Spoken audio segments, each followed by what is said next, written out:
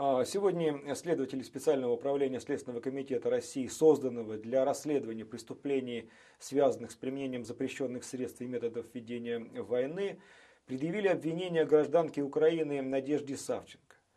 А, Савченко обвиняется в пособничестве в убийстве двух и более лиц общеопасным способом по мотивам политической ненависти. А, судом в отношении Савченко избрана мера пресечения в виде ареста – Сама она, как выяснило следствие, является военнослужащей Вооруженных сил Украины по воинской специальности оператор-наводчик вертолета Ми-24.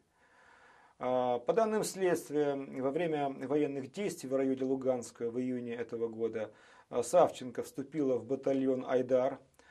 Узнав координаты расположения группы российских журналистов ВГТРК и других гражданских лиц под Луганском, она передала эти координаты боевикам – Именно после этого, по этим координатам, и был произведен тот самый минометный выстрел, в результате которого погибли сотрудники ВГТРК Игорь Корнелюк и Антон Волошин. Э, что касается задержания Савченко, то, как выяснилось, она без документов под видом беженки пересекла границу России.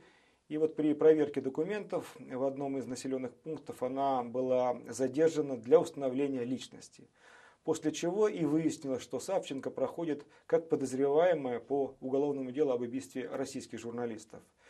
При этом э, очень важно отметить, что само задержание Савченко было проведено в строгом соответствии с российским законодательством.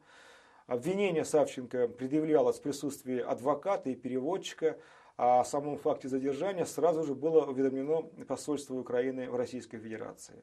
В данный момент э, Савченко содержится в одном из следственных изоляторов.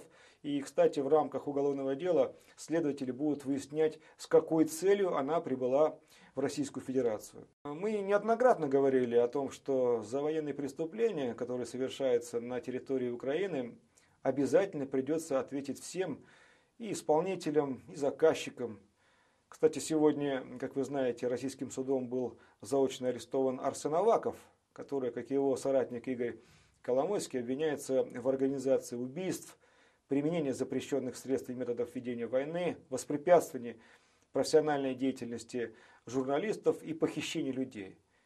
И вот, как полагает следствие, помимо прочих преступлений, они имеют отношение и к гибели российских журналистов на территории юго-востока Украины.